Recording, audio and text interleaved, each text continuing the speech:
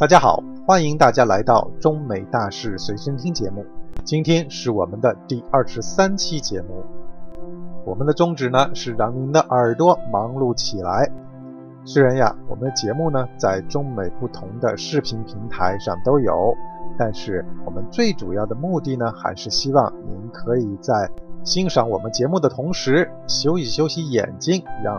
耳朵来接收到中美之间发生的超级大事，以及我本人为您提供的不同视角的讲评。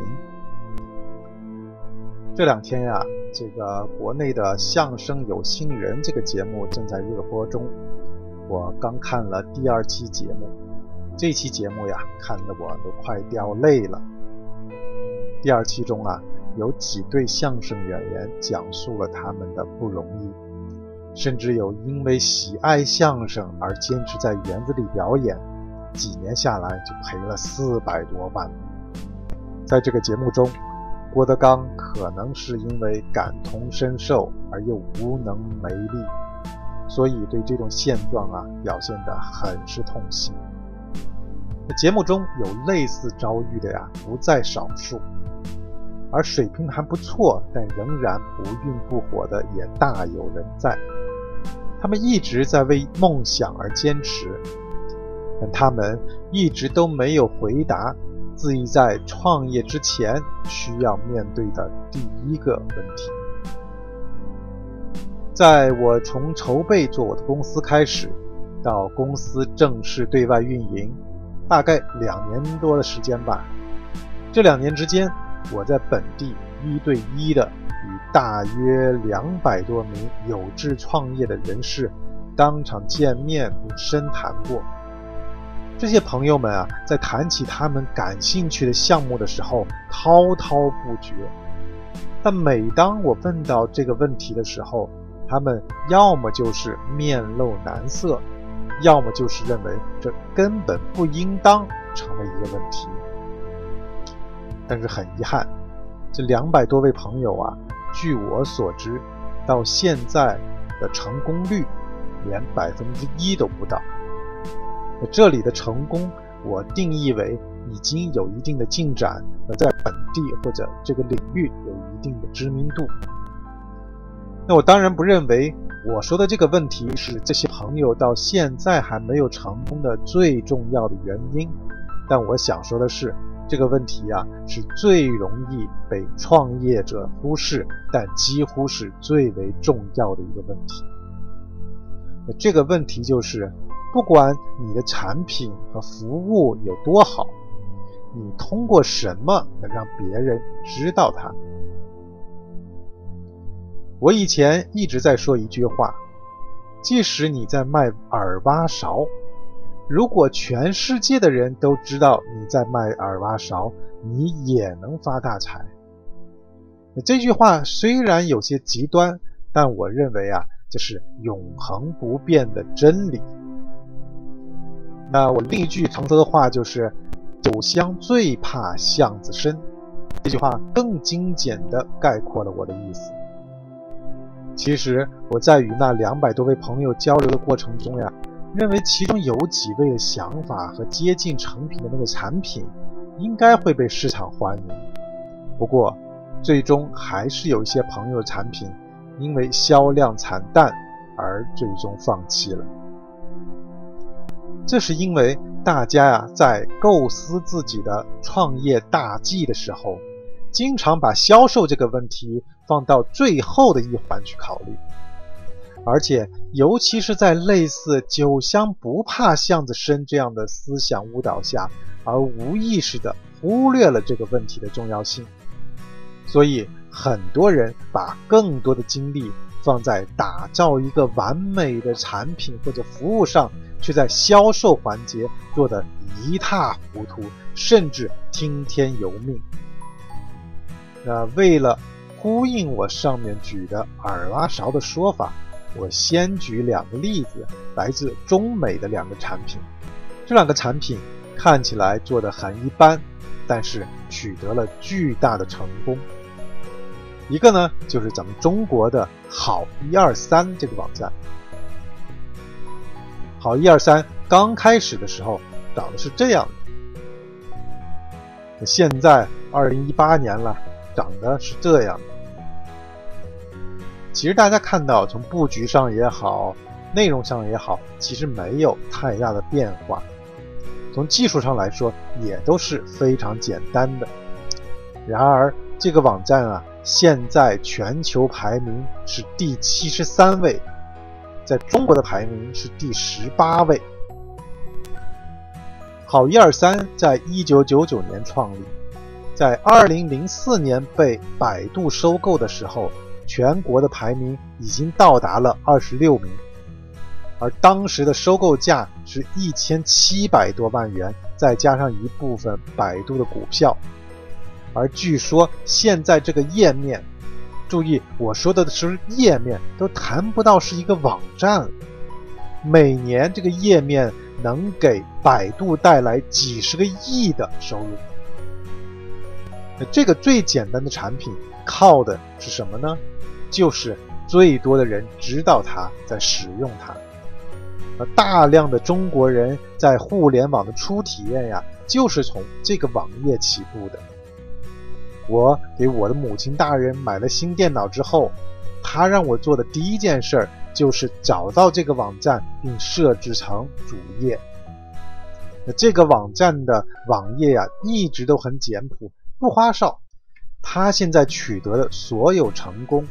靠的就是他把一切的精力都用来去获得新的用户上，而美国的一个与好一二三遥相呼应的网站就是 Craigslist。这个网站呀是咱们生活信息类网站的鼻祖，五八同城就是模仿它起家的。不过啊，和现在的五八同城相比，Craigslist 简直可以用土的掉渣来形容。从这张图可以看到，这十几年来它的界面几乎就没有改变过。但到目前为止，美国还没有另一家生活综合信息类的网站可以和它竞争，就是因为绝大多数人都知道这个网站，而不是其他的网站。这与产品好与不好，其实都不是最大的关系了。那如果我现在问您一个问题，说假使您现在有一个类似好一二三或者 Craigslist 网站，功能更强大，同时操作也更简便，理想的来说，就是只要用户一访问，用户体验就可以秒杀好一二三以及 Craigslist。那么你觉得你可以战胜他们而成功吗？那如果你对这个问题的回答是 no 的话，那么你就应该从现在开始每天问自己同样的问题：如何将您的产品让更多人知道？甚至在你准备开始创业之前，先确认自己有了这个问题的解决方案之后，再决定创业。这样，你的创业的成功率一定就会更高。当然，在我当初与那两百多位准备创业的朋友交流的时候，有不少朋友对这个问题的答案是：当有人用过我的产品之后，口口相传，自然而然的就会有更多的用户来关注并购买了。那这个回答。其实代表了很大一部分创业者的想法，他们简单的认为口碑和口口相传是解决销售问题的良方，但事实上这是完全错误的。当然，口口相传一定是最理想的营销方式，但对于绝大多数的产品和服务来说，它并不具备快速形成规模化。口口相传的先决条件，那口口相传在营销上的术语叫做病毒式传播。所谓病毒式传播，一定是一传十，十传百这种几何级数的传播方式，而不是一口对一口的这样的方式。因为啊，你的公司也好，你的耐心也好，可能都活不到一传一，最终能养活你的那个时候。而即使是病毒式传播，其实也在很多情况下需要通过所谓的大 V 的加持。因为再好的病毒也不会让每个人都中毒。也就是说，你有一个很好的、值得传播的产品或者信息，那每十个人之中，可能也只有一个人会因为产品本身的优秀，或者是因为传播本身可以给自己带来了好处，而去担任传播的下一级。那这样的话，如果没有大 V 的参与，很可能这样的传播到了某个节点就中断了。那这个问题上，我们最为熟知的案例就是《江南 Style》这首歌的大红。当然了，这首歌本身确实具有流行特质，但事实上有同样特质歌曲其实多得很。但为什么他们没有红到这个地步呢？因为他们缺少 Justin Bieber 和 Katy Perry 这样的大 V 的推波助澜。一个大 V 啊，拥有几千万甚至上亿的粉丝，这就意味着一个推荐就有可能产生几百万甚至上千万的传播节点，而大 V 的下一个传播节点可能又是几百个大 V，这样的话立刻就可以用几何级数来传播起来。那我们普通人仅靠自己的努力是根本做不到这一点的。比如说咱们普通人的微信。那你的微信最多也就几千个好友，那这几千个好友也仅仅能形成几百个传播节点，而且这传播节点就是普通人那一级的，微信这里又不能保证你发在朋友圈或者微信群里的链接可以被所有好友看到，所以啊，一般在微信这个平台上，我们想从自己开始。发一个链接出来是不太可能形成病毒式传播的，所以我讲的这些呀，就是说，不管你对你的产品有多自信，都千万不要把口碑传播当成你获得用户的唯一方式，你一定要做一些主动的营销方式来。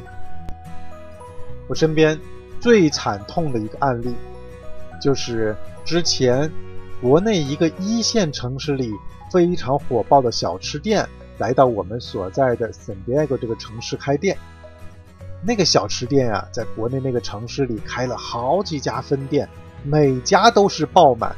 甚至当时我们公司有人啊，也是来自那个城市的，他之前在国内都在那家店里排过队尝过，确实好吃。那这家店的老板开业前就来找我们。说你们过去试吃一下。那吃完以后，我问老板说：“我可以针对你们特点提几个营销方案，你们根据你们预算呀来选择一下，看用哪个营销办法。”然而，老板跟我讲，他们根本就没有打算花钱做营销，因为他们之前在国内取得了巨大的成功，让他们对自己的小吃的水准呀。非常有自信，他们相信口碑相传，自然就可以让他们在短时间内也形成排队入店的局面。虽然我个人还是挺喜欢吃这家小吃的，但是非常遗憾的是，三个月之后，因为生意太清淡，这家店决定关门停业。而最近的一个案例。本地一个开了业几个月的品牌连锁加盟店，一开始他找其他媒体宣传，效果不是特别好，就来找我帮忙。那当面老板就问了我一句，说：“你周围的朋友觉得我们店的菜怎么样呢？”那我的回答是：“对不起，我周围的朋友没有人在谈论您的店。”虽然您的菜还算不错，但确实你之前的宣传并没有让很多人知道你们的特点，也没有给他们一个理由来到你的店里。最终因为资金的缺乏，他还是没有决定做进一步的营销。虽然我通过我的资源为这个老板带来了每天五十到一百份的订单，但是没有办法解决他生意整体的平淡。大概半年之后，他还是将他的这个店啊脱手转让了。不管是作为一个华人的媒体，还是作为一个吃货，我们身在美国，看到身边有这么多不好吃却顾客众多的饭店，但同时又看着一个个好吃却门可罗雀的华人饭店倒下，真的很令人痛心。所以有一句话我是认同的。如果你的公司只剩下一点钱了，你要把这点钱全用在打广告上。当然，这里并不是给我的媒体公司打广告，因为我们也不是万能的。但不管你选择了怎么样的营销公司和营销方式，你都要像对待产品一样对待你的市场营销。最后。回到我们一开始讲的这些相声园子，只希望给这些热爱相声的年轻人们提个醒：卖票这件工作和把相声说好这件工作是同样重要的工作。如果你只会说相声，一定要找一个会卖票的人和你合作，切记，切记呀！好的，我是维清，欢迎大家收听或者收看我们的中美大事随身听，我们下一期再见，拜拜。